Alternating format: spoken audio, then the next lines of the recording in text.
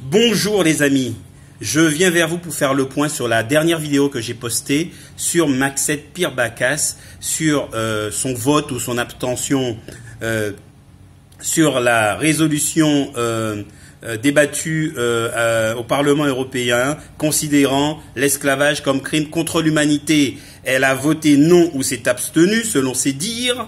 Aujourd'hui, nous savons que Rodi Tolassi, délégué départemental Rassemblement national en Guadeloupe, lui a fait un désaveu complet.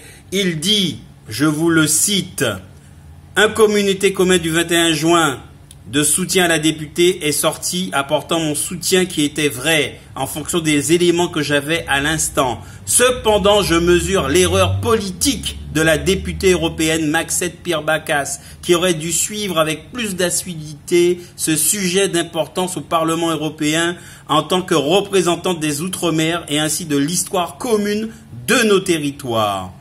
Donc un désaveu cinglant du délégué départemental Rodi Tolassi à Maxette Pirbacas. En votant non ou en s'abstenant, selon ses dires, elle a fait déshonneur à nos ancêtres esclaves. Bien évidemment, ce ne sont pas ses, ancêtres, puisqu'elle est euh, euh, non afrodescendante.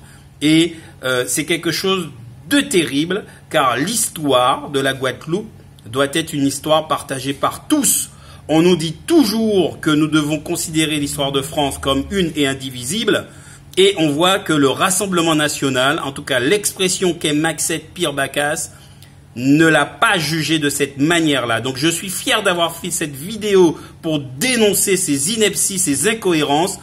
Et je le répète, nous devons respecter nos aïeux, nos ancêtres, ceux qui ont été déportés. Et à chaque fois que l'occasion me sera donnée, je le ferai en ce sens. Voilà. Donc je suis fier de cette vidéo que j'ai postée. Je suis fier de cette dénonciation qui a été confirmée.